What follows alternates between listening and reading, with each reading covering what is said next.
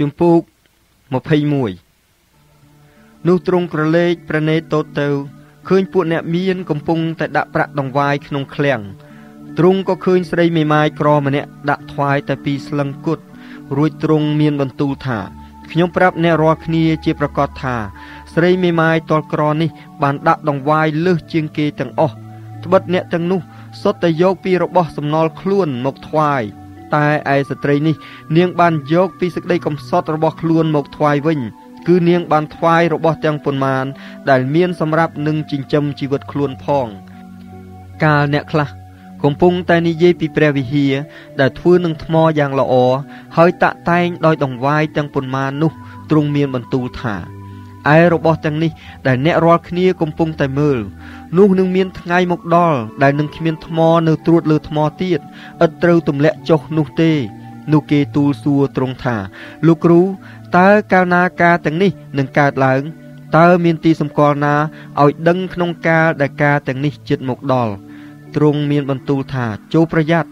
ក្រែងអ្នកណានាំឲ្យអ្នករាល់គ្នាវង្វេងត្បិតនឹងមានមនុស្សជាច្រើនយកឈ្មោះខ្ញុំមកនិយាយថា គឺខ្ញុំនេះហើយក៏នឹងថាវេលាជិតដល់ហើយ ដូច្នេះកុំឲ្យទៅតាមគេឡើយ កាលណាអ្នករាល់គ្នាលឺនិយាយពីចម្បាំងនិងចលាចលនោះកុំឲ្យភ័យស្លុតឡើយត្បិតការទាំងនោះត្រូវតែមកជាមុន តែនោះពុំទាន់ដល់ចុងបំផុតជាឆាប់ម្លេះទេទ្រង់ក៏មានបន្ទូលទៅគេថាសាសមួយនឹងលើកគ្នាទាស់នឹងសាសមួយ ហើយនគរមួយទាស់នឹងនគរមួយក៏នឹងមានកក្រើកដីជាខ្លាំងនិងអំណត់ហើយមានអសន្នរោគនៅកន្លែងផ្សេងផ្សេង ទាំងមានហេតុនាំឲ្យភ័យនិងទីសម្គាល់យ៉ាងធំពីលើមេឃផង តែមុនការទាំងនោះ គេនឹងចាប់អ្នករាល់គ្នាធ្វើទុក បញ្ជូនទៅសាលាប្រជុំហើយដាក់គុកព្រមទាំងនាំអ្នករាល់គ្នាទៅចំពោះស្ដេចនិងចៅហ្វាយខេត្តដោយព្រោះឈ្មោះខ្ញុំផងប៉ុន្តែការនោះនឹងត្រឡប់ប្រែជាឱកាសឲ្យអ្នករាល់គ្នាធ្វើបន្ទាល់វិញដូច្នេះ ចូលសម្រេចក្នុងចិត្តថា អ្នករាល់គ្នានឹងមិនគិតជាមុន អំពីពាក្យដែលត្រូវដោះសារទេត្បិតខ្ញុំនឹងឲ្យអ្នករាល់គ្នា មានថ្វីមាត់ហើយនឹងប្រាជ្ញាវិញដែលពួកអ្នកតតាំងពុំអាចនឹងឆ្លើយឆ្លង ឬទៅតឹងទាស់បានឡើយប៉ុន្តែទោះទាំងឪពុកម្ដាយបងប្អូនញាតិសន្តាន ហើយមិត្តសម្លាញ់ក៏នឹងបញ្ជូនអ្នករាល់គ្នា ហើយនឹងសម្លាប់អ្នករាល់គ្នាខ្លះដែរ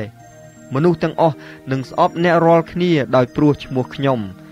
តែសូមបីសក់មួយសរសៃលើក្បាលអ្នករាល់គ្នាក៏មិនត្រូវវិនិច្ឆ័យបាត់ផង អ្នករាល់គ្នានឹងបានជីវិតគង់នៅវិញ ដោយមានចិត្តខ្ជាប់ខ្ជួនប៉ុន្តែកាលណាឃើញពលទ័ពล้อមព័ទ្ធក្រុងយេរូសាឡឹមនោះត្រូវឲ្យដឹងថាសេចក្តីហិនវិនិច្ឆ័យនៃក្រុងនោះជិតដល់ហើយ គ្រានោះត្រូវឲ្យអស់អ្នកនៅស្រុកយូដារត់ទៅឯភ្នំ ហើយពួកអ្នកនៅកណ្ដាលទីក្រុងត្រូវរត់ចេញទៅឲ្យផុតក៏គុំឲ្យពួកអ្នកដែលនៅស្រុកស្រែចូលទៅក្នុងទីក្រុងឡើយត្បិតគ្រានោះជាគ្រាសងសឹកដើម្បីនឹងសម្រេចតាមគ្រប់ទាំងសេចក្តីដែលបានចែងទុកមកឯពួកស្រីស្រីដែលមានផ្ទៃពោះ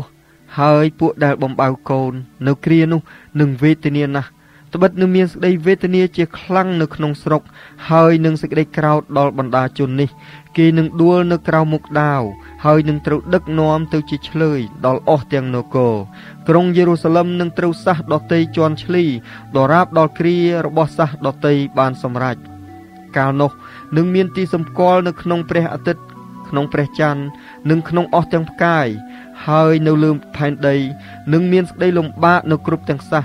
និងសេចក្តីទាល់គំនិត ដោយព្រោះសូរសន្ធឹករបស់សមុទ្រនិងរលក មនុស្សនឹងស្រយុតចិត្តដោយភ័យ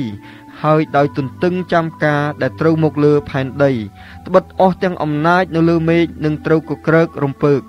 នោះគេនឹងឃើញកូនមនុស្សមកលើពពក មានទាំងព្រះជាស្ដានិងស្រីល្អជាខ្លាំង កាលណា ការទាំងនេះចាប់តាំងកើតមកនោះឲ្យអ្នករាល់គ្នាងើបមើលទៅលើ ពីព្រោះសេចក្តីប្រោសលោះរបស់អ្នករាល់គ្នាជិតដល់ហើយរួចទ្រង់មានបន្ទូលជាពាក្យព្រាប្រដូចទៅគេថាចូលមើលដើមទ្វារនិងអស់ទាំងដើមឈើចុះកាលណាវាលាស់ឡើងនោះអ្នករាល់គ្នាយល់ឃើញដោយខ្លួនឯងថារដូវក្តៅជិតដល់ហើយ កាលណាអ្នករាល់គ្នាឃើញការទាំងនេះកើតមកនោះត្រូវដឹងថានគរព្រះជិតដល់ហើយយ៉ាងដូច្នោះដែរខ្ញុំក៏ប្រាប់អ្នករាល់គ្នាជាប្រកាសថាមនុស្សដំណរនេះនឹងមិនទាន់កន្លងហួសបាត់ទៅឡើយតរតែគ្រប់ការទាំងនេះបានកើតមកឯផ្ទៃមេឃនិងផែនដីនោះនឹងកន្លងបាត់ទៅតែឯពាក្យខ្ញុំមិនដែលកន្លងបាត់ឡើយចូលអ្នករាល់គ្នាប្រយ័ត្នខ្លួន ក្រែងចិត្តអ្នករាល់គ្នាកំពុងតែផ្ទុកនៅសេចក្តីវក់នឹងស៊ីផឹកហើយនឹងសេចក្តីខ្វល់ខ្វាយនៅជីវិត នោះលោតែថ្ងៃនោះមកដល់អ្នករាល់គ្នាភ្លាមត្បិតថ្ងៃនោះនឹងមកដូចជាលុបក្របលើអស់ទាំងមនុស្សដែលនៅគ្រប់លើផែនដី ដូច្នេះចូលចាំយាមចុះហើយអធិដ្ឋានជានិច្ចដើម្បីឲ្យបានរាប់ជាគួរនឹងរួចពីការទាំងនេះដែលត្រូវមក ហើយឲ្យបានឈរនៅមុខកូនមនុស្សផង នៅពេលថ្ងៃទ្រង់តែងបង្រៀនក្នុងព្រះវិហារលុះដល់ពេលយប់ទ្រង់តែងតែយាងចេញទៅស្នាក់នៅលើភ្នំ ដែលហៅថាភ្នំដើមអូលីវព្រលឹមព្រលឹមឡើង បណ្ដាជនក៏មកស្ដាប់ទ្រង់នៅក្នុងព្រះវិហារជានិច្ចជំពូក22រីឯបុណ្យនំប៉័ងឥតដំបែដែលហៅថាបុណ្យរំលង នោះក៏ជិតមកដល់ ហើយពួកសង្គ្រាចនិងពួកអាចារ្យគេរកវិធីយ៉ាងណានឹងសម្លាប់ទ្រង់ចេញ ព្រោះគេខ្លាចបណ្ដាជននោះអរិយសាតាំងវាចូលយូដាសដែលហៅថាអ៊ីស្ការីយ៉ុតជាម្នាក់ក្នុងពួក12រួចវាទៅនិយាយនឹងពួកសង្គ្រាចហើយពួកមេតបរក្សាព្រះវិហារពីបែបដែលនឹងបញ្ជូនទ្រង់ឲ្យដល់គេ គេក៏ត្រេកអរណាស់ហើយសន្យានឹងឲ្យប្រាក់ដល់វា វាយល់ព្រមរួចក៏ទៅរកឱកាសនឹងបញ្ជូនទ្រង់ដល់គេ ក្នុងកាលដែលឃ្លាតពីបណ្ដាមនុស្ស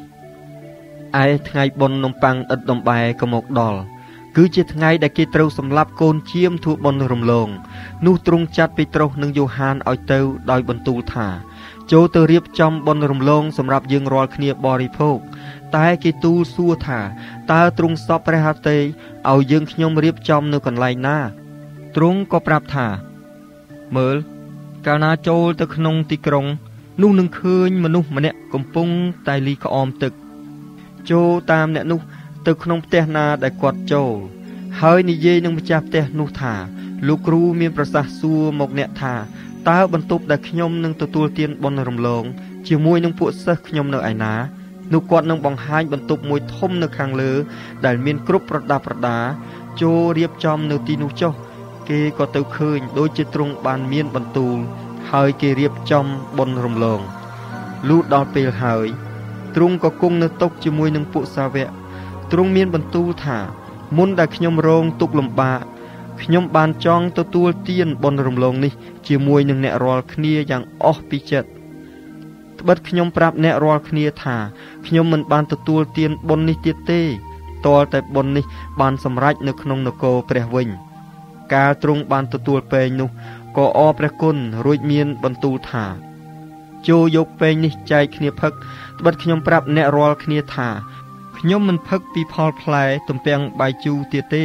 ដរាបដល់នគរព្រះបានមកដល់រួចទ្រង់ក៏យកនំប៉័ងមកអរព្រះគុណហើយកាច់ប្រទានទៅគេដោយបន្ទូលថានេះហើយជារូបកាយខ្ញុំ ដែលបានប្រទានមកសម្រាប់អ្នករាល់គ្នា ចូលធ្វើបុណ្យនេះដើម្បីរំលឹកពីខ្ញុំចុះ ក្រោយដែលបានបរិភោគហើយនោះទ្រង់យកពែងមកធ្វើបែបដូច្នោះដែរដោយបន្ទូលថាពែងនេះជាសញ្ញាថ្មី ដែលតាំងដោយនៅឈាមខ្ញុំ គឺជាឈាមដែលត្រូវជ្រួចចេញសម្រាប់អ្នករាល់គ្នា មួយទៀតមើលដៃនៃអ្នកដែលបញ្ជូនខ្ញុំក៏នៅຕົកជាមួយនឹងខ្ញុំដែរកូនមនុស្សត្រូវទៅមែនតាមសេចក្តីដែលសម្រេចមកប៉ុន្តែវេទនាដល់មនុស្សនោះដែលបញ្ជូនខ្ញុំទៅ នោះគេចាប់តាំងសួរគ្នាទៅវិញទៅមកពីអ្នកណាក្នុងពួកគេដែលនឹងធ្វើការនោះ គេកើតមានសេចក្តីទាស់តែងគ្នាអំពីអ្នកណាដែលរាប់ជាធំជាងគេ តែទ្រង់មានបន្ទូលថាអស់ទាំងស្ដេចនៃសាសដតីគេតែងសោយរាជលើបណ្ដារាជហើយបណ្ដាជនហៅពួកអ្នកមានអំណាចលើគេ ថាជាអ្នកមានគុណដែរប៉ុន្តែមិនត្រូវឲ្យមានដូច្នោះក្នុងពួកអ្នករាល់គ្នាឡើយ ឯអ្នកណាដែលធំជាងគេក្នុងពួកអ្នករាល់គ្នានោះត្រូវប្រព្រឹត្តដូចជាតូចជាងគេវិញ ហើយអ្នកណាដែលនាំមុខគេនោះដូចជាអ្នកបំរើដែរត្បិតតើអ្នកណាធំជាង អ្នកដែលអង្គុយនៅតុឬអ្នកដែលបំរើតើមិនមែនជាអ្នកដែលអង្គុយនៅតុទេឬអីប៉ុន្តែខ្ញុំនៅកណ្ដាលពួកអ្នករាល់គ្នាទុកដូចជាអ្នកបម្រើវិញឯអ្នករាល់គ្នា គឺជាពួកដែលបានកាន់ខ្ជាប់ជាមួយនឹងខ្ញុំ ក្នុងអស់ទាំងសេចក្តីលបងលោខ្ញុំខ្ញុំក៏តម្រូវនគរមួយឲ្យអ្នករាល់គ្នាដូចជាព្រះវរបិតានៃខ្ញុំបានតម្រូវនគរឲ្យខ្ញុំដែរដើម្បីឲ្យអ្នករាល់គ្នាបានបរិភោគនៅទុកខ្ញុំ ក្នុងនគររបស់ខ្ញុំ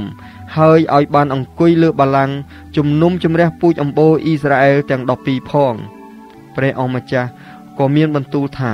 ស៊ីម៉ូនស៊ីម៉ូនអើយ មើលសាតាំងបានសូមចង់បានអ្នករាល់គ្នា ប្រយោជន៍នឹងរែងអ្នករាល់គ្នាដូចជារែងអង្គប៉ុន្តែខ្ញុំបានអធិដ្ឋានឲ្យអ្នកដើម្បីមិនឲ្យសេចក្តីជំនឿរបស់អ្នកវិនិច្ឆ័យបាត់ឡើយកាលណា អ្នកបានប្រែចិត្តវិលមកវិញ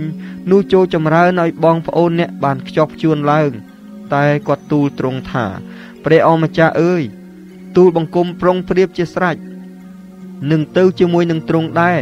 ទោះបើជាប់គុកឬដល់ស្លាប់ក្តីនោះទ្រង់មានបន្ទូលថាពេត្រុសអើយខ្ញុំប្រាប់អ្នករាល់គ្នាថា នៅថ្ងៃនេះមន់មិនរងាវឡើយទាល់តែអ្នកបានប្រកែក3ដងថាមិនស្គាល់ខ្ញុំ រួចមកទ្រង់មានបន្ទូលទៅពួកសិស្សទាំងអស់ថាកាលខ្ញុំចាត់អ្នករាល់គ្នាឲ្យទៅឥតកាបូបឥតយាមហើយឥតស្បែកជើង នោះតើមានខ្វះអ្វីឬទេ គេទូលឆ្លើយថាគ្មានខ្វះអ្វីទេ ដូច្នេះទ្រង់មានបន្ទូលថាឥឡូវនេះវិញ អ្នកណាដែលមានកាបូបមានយាម នោះត្រូវតែយកទៅគុំខាន ហើយអ្នកណាដែលគ្មានដាវក៏ឲ្យអ្នកនោះលក់អាវខ្លួនទៅទិញមួយមកខ្ញុំប្រាប់អ្នករាល់គ្នាថាសេចក្តីនេះដែលបានចែងទុកមកថា គេបានរាប់ទ្រង់ជាពួកទទឹងច្បាប់នោះត្រូវសម្រេចលើខ្លួនខ្ញុំត្បិតគ្រប់សេចក្តីដែលតម្រូវមកខ្ញុំ ត្រូវតែបានសម្រេចទាំងអស់រួចគេទូលថា ព្រះអម្ចាស់អើយមើលនេះមានដាវពីរហើយទ្រង់ក៏មានបន្ទូលថាអើល្មមហើយ កាលទ្រង់យាងចេញទៅនោះទ្រង់ទៅឯភ្នំដើមអូលីវតាមទម្លាប់ ហើយពួកសិស្សក៏តាមទៅដែរលុះដល់កន្លែងហើយទ្រង់មានបន្ទូលថាចូលអធិដ្ឋានទៅ ដើម្បីកុំឲ្យត្រូវសេចក្តីល្បួងឡើយរួចទ្រង់ថយចេញពីគេទៅចម្ងាយទីប្រហែលជាគេចោលថ្មមួយទំហឹងដៃ ក៏លុតព្រះជង្គក្រាបចុះអធិដ្ឋានថាអោព្រះវរបិតាអើយបើសិនជាទ្រង់សពព្រះハរតីនោះសូមយកពេងនេះ ចេញពីទូលបង្គំទៅប៉ុន្តែគុំតាមចិត្តទូលបង្គំឡើយ សូមតាមតែព្រះハរតីទ្រង់វិញ នោះមានទេវតាលេចមកឯទ្រង់អំពីស្ថានសួគ៌មកចម្រើនកម្លាំងថ្វាយ ហើយដោយទ្រង់កើតទុកជាខ្លាំងបានជាទ្រង់អធិដ្ឋានទទូចរឹតតែខ្លាំងឡើងញើសទ្រង់ក៏ត្រឡប់ដូចជាដំណក់ឈាមដ៏ធំធំស្រក់ទៅដី រួចទ្រង់ក្រោកពីទីអធិដ្ឋានវិលទៅឯពួកសិស្សវិញក៏ឃើញគេដេកលក់ដោយព្រួយចិត្តទ្រង់មានបន្ទូលថាហេតុអ្វីបានជាដេកលក់ដូច្នេះចូលក្រោកឡើងអធិដ្ឋានចុះដើម្បីកុំឲ្យត្រូវសេចក្តីល្បួងឡើយយេស៊ូវទ្រង់មានបន្ទូលនៅឡើយ នោះឃើញមានមនុស្សទាំងវងមកហើយអ្នកដែលមានឈ្មោះយូដាសជាម្នាក់ក្នុងពួក12ក៏នាំមុខគេ វាចូលមកចិត្តដើម្បីថើបព្រះយេស៊ូវតែទ្រង់មានបន្ទូលទៅវាថាយូដាសអើយអ្នកបញ្ជូនកូនមនុស្សទៅដោយថើបមួយខ្សើទៅឬអីកាលពួកអ្នកដែលនៅជុំវិញទ្រង់ឃើញការដែលហៀបនឹងកើតមកដូច្នេះនោះក៏ទូលទ្រង់ថាព្រះអម្ចាស់អើយតើត្រូវឲ្យយើងខ្ញុំកាប់នឹងដាវឬអី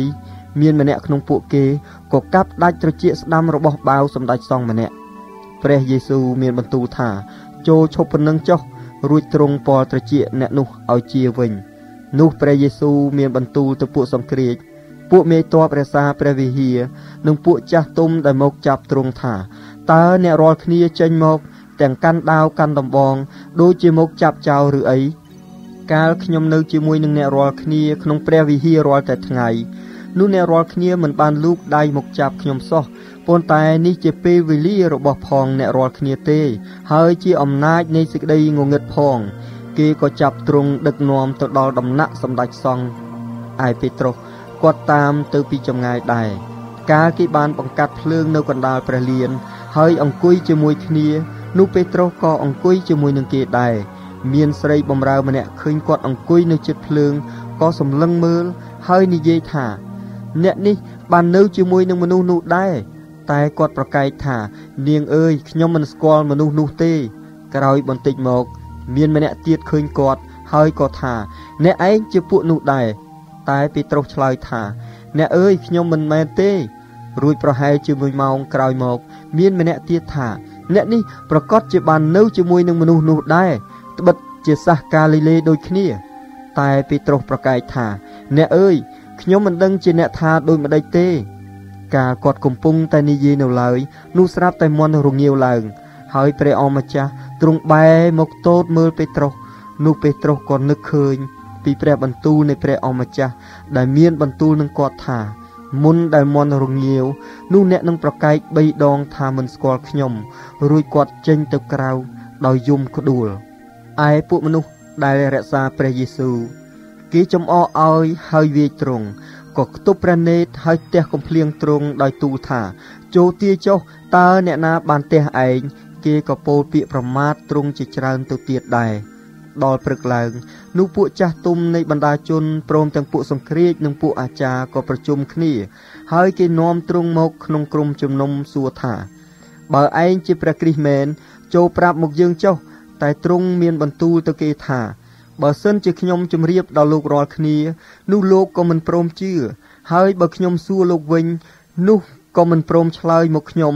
ឬលែងឲ្យខ្ញុំទៅដែរអំណឹសទៅមុខកូនមនុស្សនឹងអង្គុយខាងស្ដាំព្រះជាស្ដានៃព្រះនោះទាំងអស់គ្នានិយាយឡើងថាដូច្នេះឯងជាព្រះរាជបុត្រានៃព្រះឬអីទ្រង់មានបន្ទូលឆ្លើយថាលោករាល់គ្នាមានប្រសាសន៍ដូច្នោះនោះគឺខ្ញុំនេះហើយ គេក៏និយាយថា តើចាំបាច់ត្រូវការនឹងទីបន្ទាល់អ្វីទៀតព្រោះយើងបានលឺចេញពីមាត់ខ្លួនវាមកស្រាប់ហើយជំពូក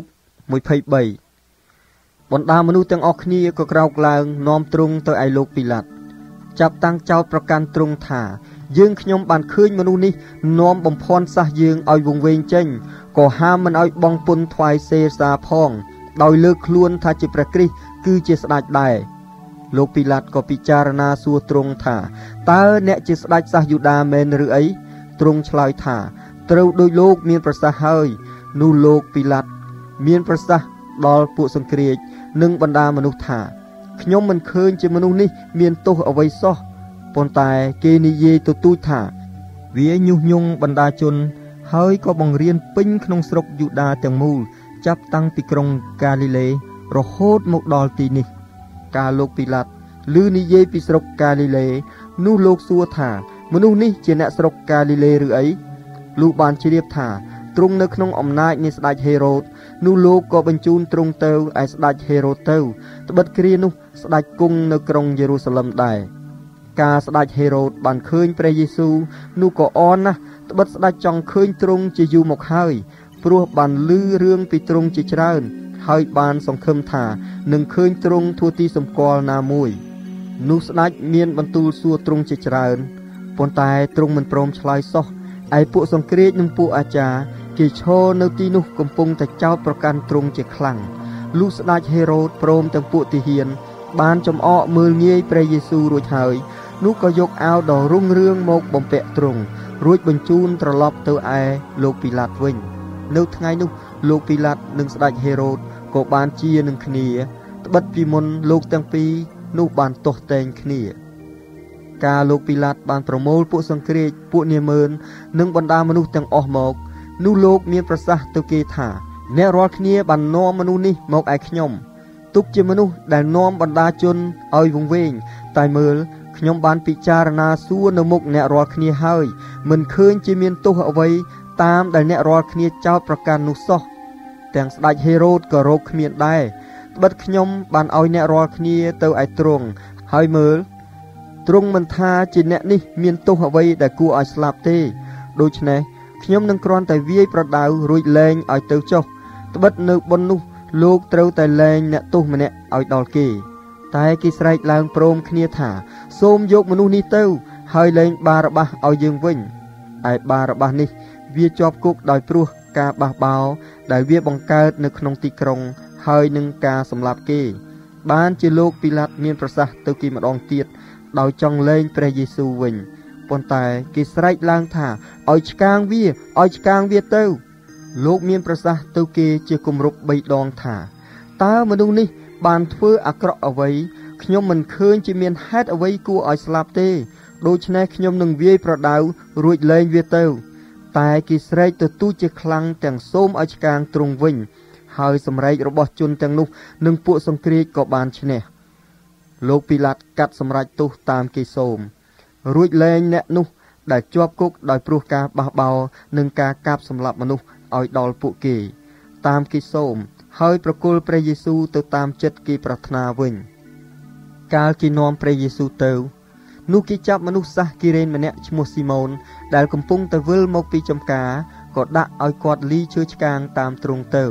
មានមនុស្សដើរតាមទ្រុងដល់ណែនណាន់ក៏មានពួកស្រីស្រីដែលគក់ដើមទ្រូងហើយយំទួញផងព្រះយេស៊ូវទ្រង់ងាកបែរទៅ មានបន្ទូលនឹងពួកស្ត្រីទាំងនោះថា កូនស្រីក្រុងយេរូសាឡឹមអើយគុំយំនឹងខ្ញុំឡើយឲ្យយំនឹងខ្លួនអ្នករាល់គ្នា ហើយនឹងកូនចៅរបស់អ្នករាល់គ្នាវិញចុះត្បិតមើលនឹងមានគ្រាមកដល់ ដែលគេនឹងថា មានពោហើយពួកស្រីអានឹងពោះដែលមិនកើតកូន ហើយដោះដែលមិនបំបៅកូន នៅគ្រានោះ គេនឹងចាប់តាំងនិយាយទៅភ្នំធំថា សូមឲ្យរំលំមកលើយើងវិញ ហើយទៅភ្នំតូចថា សូមក្របមកលើយើងចុះព្រោះបើគេធ្វើការទាំងនេះដល់ដើមឈើស្រស់នោះតើនឹងកើតអ្វីដល់ដើមឈើស្ងួតវិញ គេក៏នាំចោលកំណាចពីរនាក់ទៅសម្លាប់ជាមួយនឹងទ្រង់ដែរ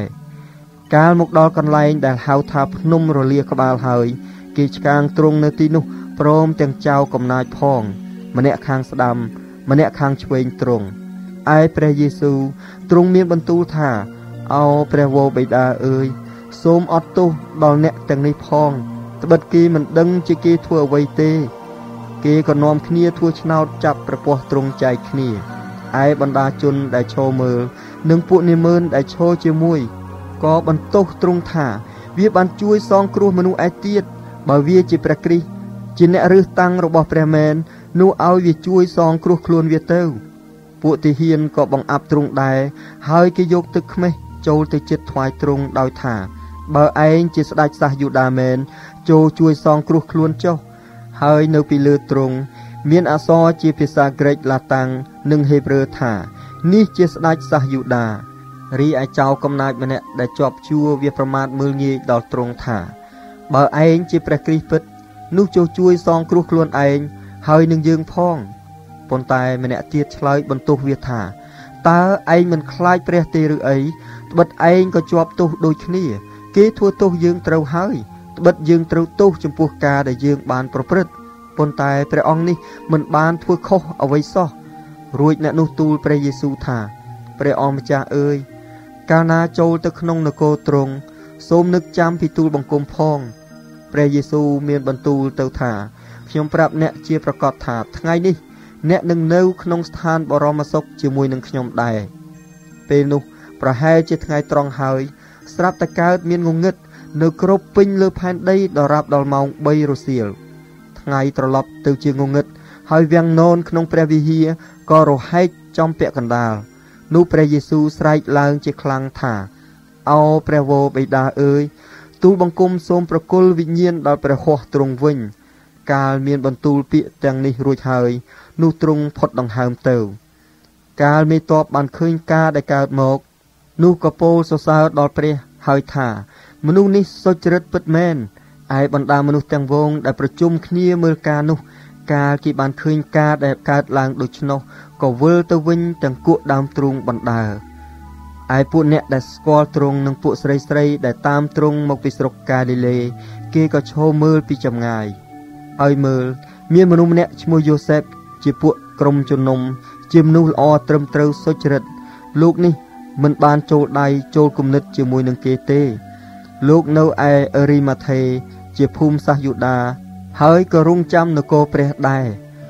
លោកទៅឯលោកពីឡាតដើម្បីនឹងសូមព្រះសពព្រះយេស៊ូវកាលបានយកព្រះសពចុះមកហើយនោះក៏រុំនឹងសម្ពុតទេឯក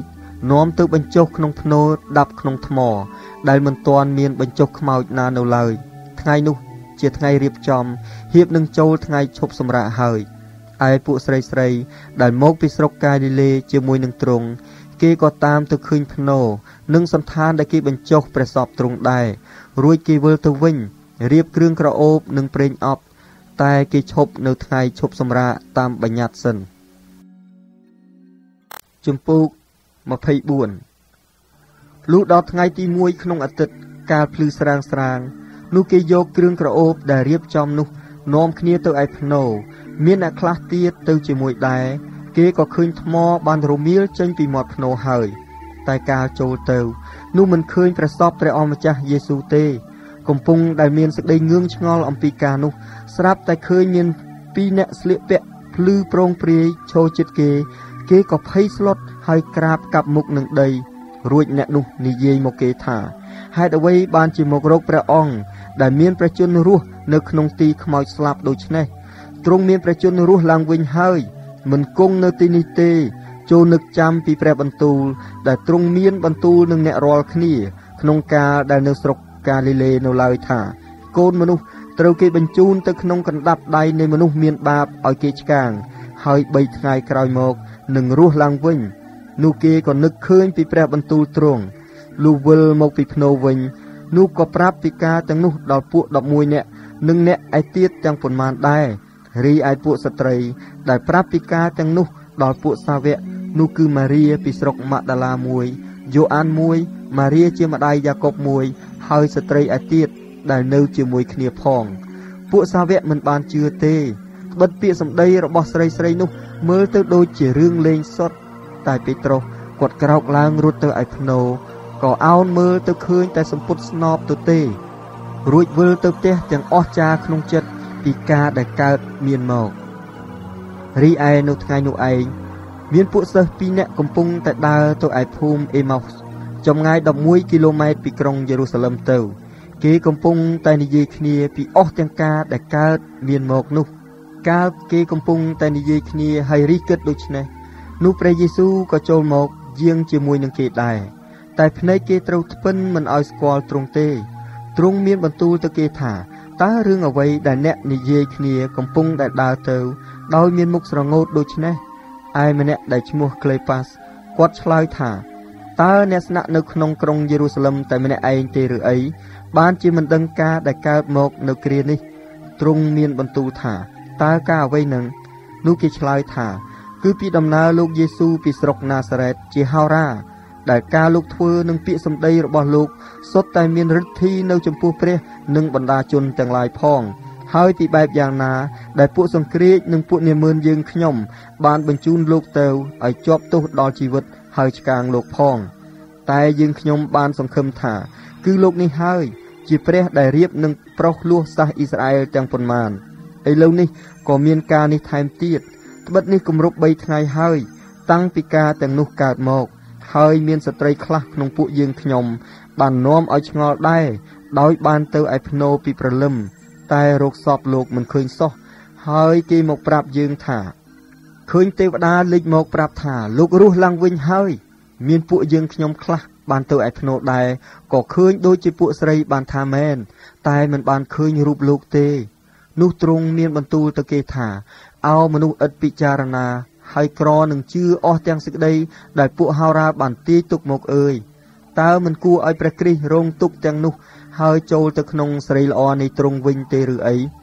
រួចទ្រង់ក៏ស្រាយនៃសេចក្តីដែលតម្រូវដល់ទ្រង់ពីក្នុងគម្ពីរទាំងឡាយឲ្យគេស្ដាប់ចាប់តាំងពីគម្ពីរលោកម៉ូសេនិងគម្ពីរពួកហោរារៀងមក នោះក៏ចិត្តដល់ភូមិដែលគេគិតទៅ ហើយទ្រង់ធ្វើដូចជាចង់យាងបង្ហោះតែគេខាត់ទ្រង់ដោយពាក្យថា សូមនៅជាមួយនឹងយើងខ្ញុំសិនព្រោះល្ងាចថ្ងៃទៀបណាស់ហើយដូច្នេះទ្រង់ក៏យាងចូលទៅគង់ជាមួយនឹងគេ កាលគង់នៅតុជាមួយគ្នា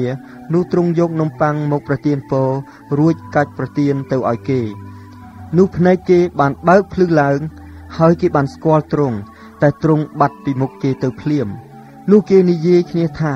តើយើងមិនមានសេចក្តីខ្មួលខ្មាញ់នៅក្នុងចិត្តក្នុងពេលដែលទ្រង់កំពុងតែមានបន្ទូលនឹងយើង ហើយសំដែងពីគម្ពីរតាមផ្លូវនោះទេឬអី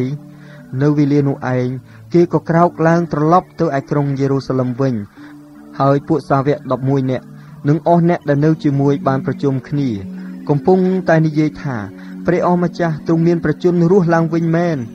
ក៏បានលេចមកឲ្យស៊ីម៉ុនឃើញនោះគេក៏និយាយប្រាប់ពីការដែលកើតមានមកតាមផ្លូវហើយដែលគេបានស្គាល់ទ្រង់ជាក់ដោយទ្រង់កាច់នំប៉័ងឲ្យកាលកំពុងតែប្រាប់រឿងទាំងនោះ ស្រាប់តែព្រះយេស៊ូវទ្រង់ឈរនៅកណ្ដាលគេ មានបន្ទូលថា សូមឲ្យអ្នករាល់គ្នាបានប្រកបដោយសេចក្តីសុខសាន្តចុះ តែគេភ័យញ័រទាំងមានសេចក្តីស្ញែកខ្លាចជាខ្លាំងដោយស្មានថាជាខ្មោចលងវិញទ្រង់មានបន្ទូលទៅគេថាហេតុអ្វីបានជាវិលវល់ហើយសង្ស័យក្នុងចិត្តដូច្នេះចូលមើលមកដៃនិងជើងខ្ញុំឲ្យបានដឹងថា នេះគឺខ្ញុំពិតមែនចូលពាល់ខ្ញុំមើលត្បិតខ្មោចគ្មានសាច់ឬឆ្អឹងដូចជាឃើញខ្ញុំនេះទេលុះទ្រង់មានបន្ទូលដូច្នោះរួចហើយ នោះក៏បង្ហាញព្រះហស្ថនិងព្រះបាទទ្រង់ដល់គេ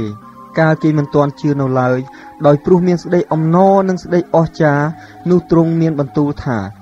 នៅទីនេះ អ្នករាល់គ្នាមានអ្វីបរិភោគឬទេ គេក៏យកត្រីអាំងមួយដុំនិងសំណុំខ្មុំមកថ្វាយទ្រង់រួចទ្រង់យកទៅសោយនៅមុខគេក៏មានបន្ទូលថានេះហើយជាសេចក្តីដែលខ្ញុំបានប្រាប់អ្នករាល់គ្នា កាលនៅជាមួយគ្នានៅឡើយ គឺថា ត្រូវតែសម្រេចគ្រប់ទាំងសេចក្តីដែលបានចែងទុកពីខ្ញុំទោះក្នុងក្រឹតវិន័យលោកម៉ូសេ ក្នុងទំនាយពួកហោរាឬក្នុងបទទំនុកដំកើងផងនោះទ្រង់ក៏បើកបំភ្លឺសតិស្មារតីគេឲ្យបានយល់ក្នុងគម្ពីរទ្រង់មានបន្ទូលទៅគេថា គឺសេចក្តីនេះហើយ ដែលបានចែងទុកមក គឺថាព្រះគ្រីស្ទត្រូវរងទុក្ខលំបាកហើយនៅថ្ងៃទី3ទ្រង់នឹងរស់ពីស្លាប់ឡើងវិញ ហើយត្រូវឲ្យការប្រែចិត្តនិងសេចក្តីប្រុសឲ្យរួច បានប្រកាសប្រាប់ដល់អស់ទាំងសះដោយនៅព្រះនាមទ្រង់ចាប់តាំងពីក្រុងយេរូសាឡឹមទៅ អ្នករាល់គ្នាជាស្មោកបន្ទាល់ពីការទាំងនេះហើយមើលខ្ញុំនឹងឲ្យសេចក្តីសន្យារបស់ព្រះវរបិតាមកសន្ធិដ្ឋលើអ្នករាល់គ្នាចូលអ្នករាល់គ្នា នៅតែក្នុងក្រុងយេរូសាឡឹមដរាបដល់ព្រះចេស្តាពីស្ថានលើ បានមកគ្របដណ្ដប់លើអ្នករាល់គ្នា នោះទ្រង់ក៏នាំគេចេញទៅត្រឹមបេថានី រួចទ្រង់លើកព្រះហស្ថឡើងប្រទានពរឲ្យកំពុងដែលទ្រង់ប្រទានពរនោះព្រះវរបិតាបានញែកទ្រង់ចេញពីគេ លើកឡើងទៅស្ថានសួគ៌ទៅ គេក៏ក្រាបថ្វាយបង្គំទ្រង់រួចត្រឡប់ទៅឯក្រុងយេរូសាឡឹមវិញ ដោយអំណរជាខ្លាំងក៏នៅក្នុងព្រះវិហារជានិច្ចទាំងសរសើរហើយលើកដំកើងព្រះអាមែន